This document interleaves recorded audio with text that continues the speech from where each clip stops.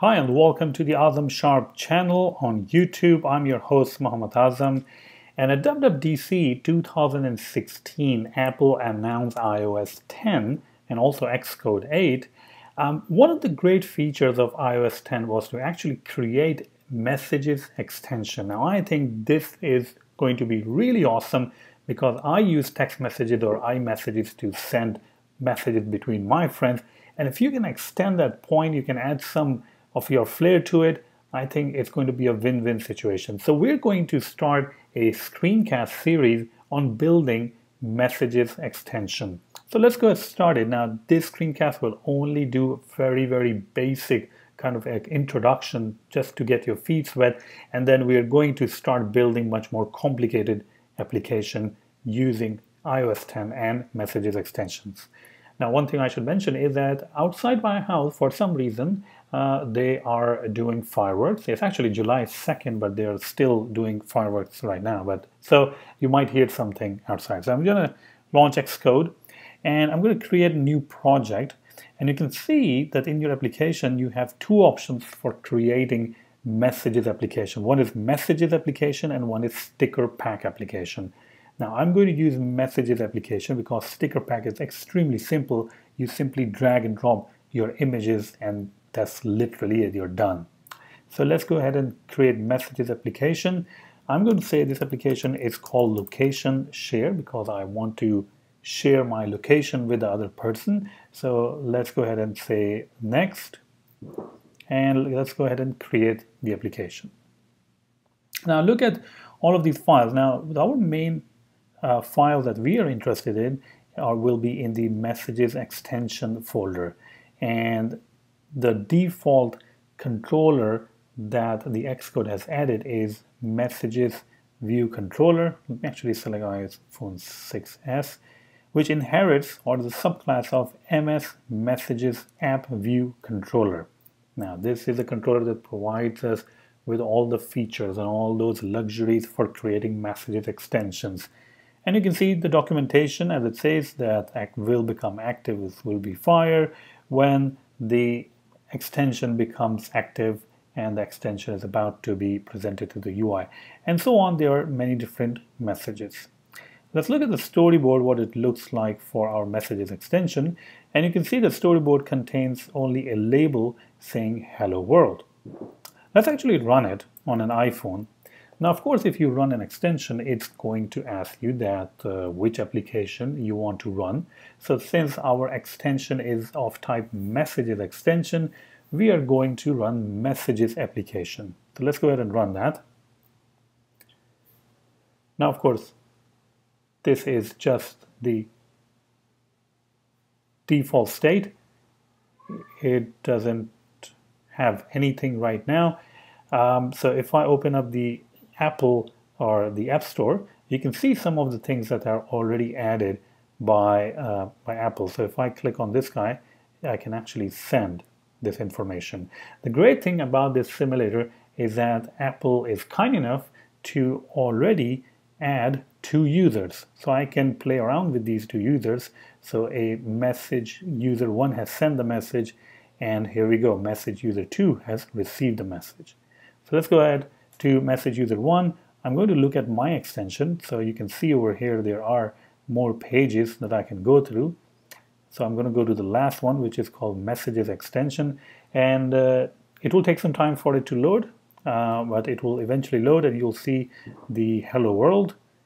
And here we go. So finally, you can see hello world.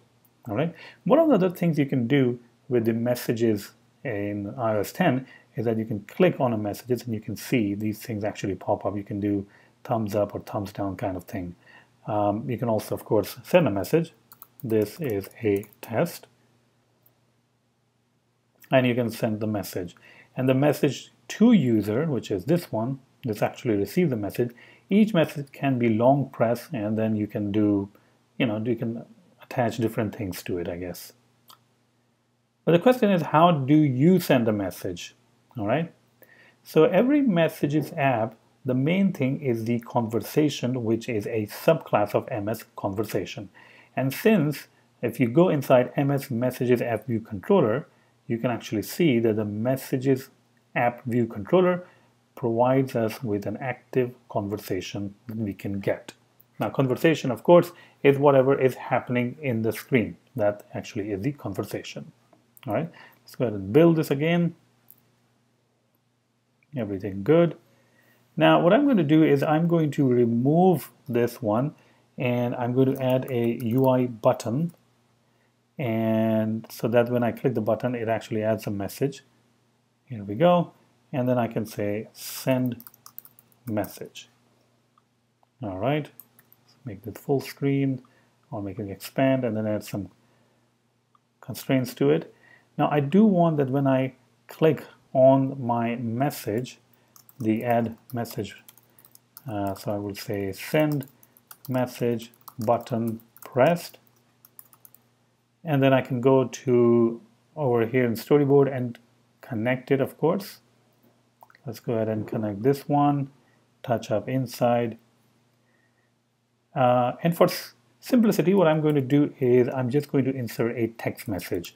So self dot active conversation dot insert text and I can say this is cool and then of course I can provide what happens in the completion. Let's go ahead and run it again. Okay, let me reopen it. I think it actually crashed. Um, where were we? All right, so hopefully this will work now. Active, uh, let me see. Let's go ahead and build it. Self.active conversation.insert text. And I'm going to say this is a test. And, and this is it. All right. I believe I've already connected this, so let's go ahead and run it and run the extension. Now, you can never use an MS, I mean the messages extension to actually send the message. The user will always have to press the send button to send the message. All right, so you can never do that. All right, so let me wait so that it refreshes and Sure, it's going to take some time maybe to refresh. Taking a lot of time actually to refresh. It's kind of weird. All right, let's see if it refreshes now. You can see that it's uh, all right, it's under development or something. Let's go ahead and see what's going on over here. Oops, we don't have a button. I think all of those changes didn't get saved, so let me do it again button pressed and there we go and I'm going to say just send message all right go ahead and extend that click it uh, add missing constraints and submit. And touch up inside. And hopefully it's saved. Let's go ahead and run it. And hopefully now we will see our extension with a button saying send message. All right, I'm going to wait a little while and then there we go, going to my own extension. Now it says hello world and it's going to refresh hopefully and say send message. Here we go. I'm going to send message and you can see that it doesn't really send a message, it just types the message in the text field. I always have to press this to send the message. So the message has been sent by message user 1. So if I go back to message user 2, you will see that the message has been received. Now I can click on it and I can say whatever. We go back to message user one. There we go. It has been thumbs up. So this is just a very, very like high level, like a to 20,000 overview, uh, kind of like eagle eye view of what's going on in the messages extension and how you can build messages. Now we are definitely going to build much more complicated applications in the remainder of the series. So you stay tuned on Azam Sharp channel and also please if you have any question you can write in the comments. Share this video with your friends and iOS developers. Uh, thank you very much. Have a great night.